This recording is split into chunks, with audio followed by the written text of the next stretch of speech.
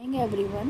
Welcome to our youtube channel of afrs my name is shalini sharma. I am volunteer in afrs so today's topic of presentation is cannabis and its forensic examination and significances. So let's begin with our presentation.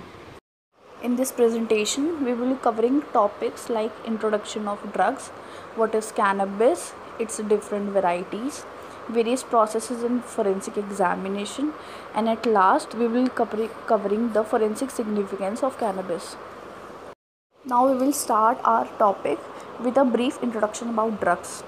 Drugs is a substance which alters body's functioning and working of mind when it is consumed. Drugs primarily act on central nervous system and it affects various receptors neurotransmitters present in brain these produce several effects like stimulation, hallucination, etc. Drugs are categorized into different classes on the basis of their primary effect, which includes stimulants, depressants, hallucinogens, opioids, cannabinoids, dis- dissociatives, etc. But here we will focus only on cannabinoids. Cannabinoids act on receptors in brain and produce effects like relaxation, altered perception and mood changes in consumer. Let's discuss a brief intro about cannabinoids. Cannabinoids is also called as ganja or marijuana in local language. It is extracted from cannabis plant. Cannabis has cannabinoids in it which is a which is a chemical co- compound and its major proportion has THC in it which is mainly responsible for its psychotropic effects cannabis plant has been cultivated from thousands of years for various purposes. Ganja is regarded as a recreational drug. Recreational drugs are purely taken for enjoyment and leisure activities purpose, which induce an intoxication effect in the consumer's body.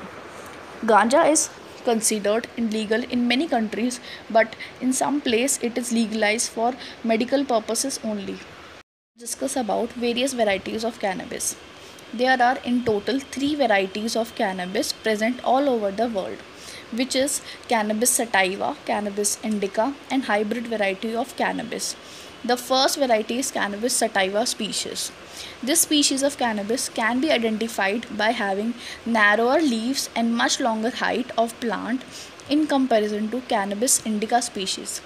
Cannabis sativa produce primary effects like uplifting of consumer's mood and energizing him upon consumption. They stimulate central nervous system leading to higher creativity, focus and increased amiable skills in consumer. The second species is cannabis indica. It has relatively short height, broad leaves in comparison to cannabis sativa species. After consumption, this produces a sense of relaxation, sedation, and relief from stress in consumer's body. The last variety of cannabis is hybrid variety. This species is found by crossbreeding of sativa and indica species of cannabis plant. Hybrid varieties are as presumed they have inherited the desired characteristics of both varieties. You can see the difference between all the three varieties in the figure below with respect to the width of leaves, effects on body and so on. Moving forward in this presentation, now we will study about forensic examination of cannabis. Forensic examination is purely conducted for legal and investigative purposes like detecting the presence of cannabis, its quantity present, origin, and most importantly, most important of all, it provides the evidence in criminal cases which are related to drug offenses. Cannabis examination include the following steps physical examination, chemical examination. Now we will briefly study about each step. In physical examination, there is visual and microscopic examination. In visual examination, we note down the morphological features of cannabis, including its shape, size, color, etc., which helps in determination of type of species of cannabis present. In microscopic analysis, we observe specimen under microscope and note down the granular structures, plant tissues, number of trichomes present in it.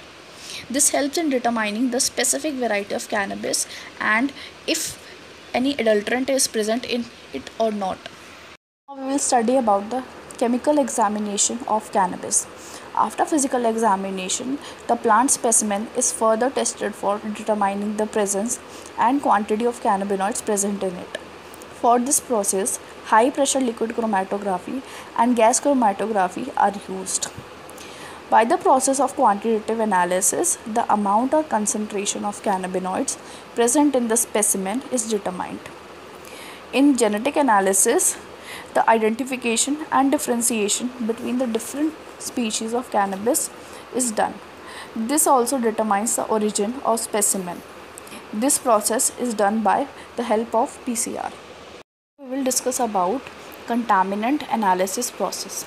This step involves testing of the specimen whether it contains any type of heavy metal, pesticides, adulterant or anything of this sort which may harm the consumer. Mass spectrometry and AAS are used for this process.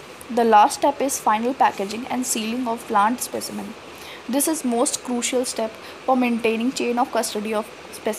Here are some of the forensic significances of cannabis. Firstly, it is used in identification of drugs in suspected samples. Secondly, it provides information of quantity of THC present in it, which proved to be a risk high risk factor for individual consuming it. It also links suspects to drug abuse like severe crimes. We can also determine the origin and species of specimen via genetic analysis and stable isotope methods. The origin of cannabis specimen can help in tracking down illegal cultivation practice. So we can identify various adulterants and contaminants present in plant specimen including pesticides heavy metal etc the overall forensic examination of specimen can help criminal justice system in putting adequate charges on accused in drug abuse cases.